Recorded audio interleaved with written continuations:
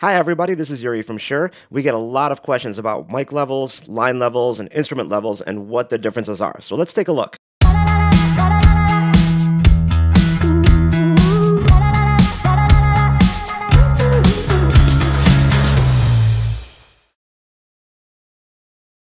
In the sound world, when we're talking about level, all we're doing is asking how strong is that audio signal, and we have a lot of different ways to measure it. In audio, we generally want to do all of our work at the line level, which is roughly 1 volt, a little bit higher than 1 volt on average. But we'll come back to that in a little bit. The signal coming out of a microphone like this KSM9HS right in front of my face is much, much, much lower than what you would get in a line level signal.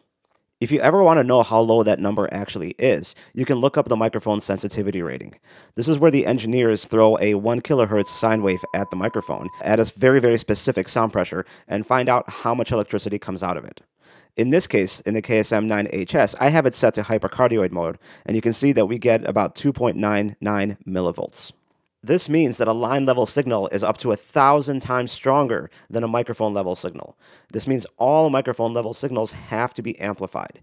Different microphones will have different sensitivities, but they're all going to be in the very, very low millivolt range.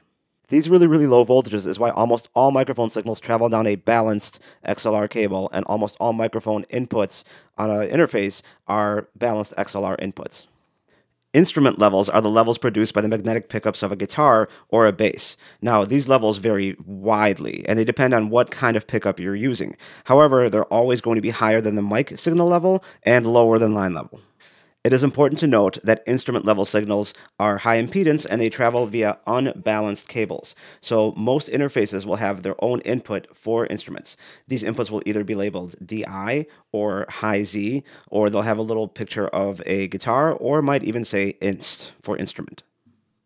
If you want your instrument level signal to be balanced before it goes into the interface, you can use a DI box, which will not only balance the signal, but also bring it down to microphone level. Keep in mind that now, because your signal is mic level instead of instrument level, you will have to use a balanced XLR cable into the microphone input. Now that we have our microphones and guitars plugged into our interface and amplified to line level, we are ready to record and work with the audio. But what about keyboards?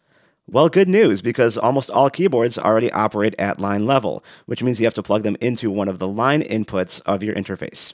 Keep in mind that a lot of interfaces have combination inputs where you have both mic and line or mic and instrument, and there's going to be a little switch that will decide which one it is. So what happens if I take the wrong signal level and put it into a certain input? Well, if it's a line level input and it's an instrument level signal, you're probably going to get very, very bad quality audio. Uh, if it's a mic level signal going into a line level input, the line level input is expecting something that's a thousand times uh, higher voltage. So you're probably not going to hear anything at all. Of course, if I go the other way and send a line level signal into a microphone input, which is expecting something a thousand times lower, then that could cause all sorts of problems and a lot of distortion. So there you have it. Keep track of your levels and your inputs and stay out of trouble. And if you have any more questions or want some more details, let us know in the comments.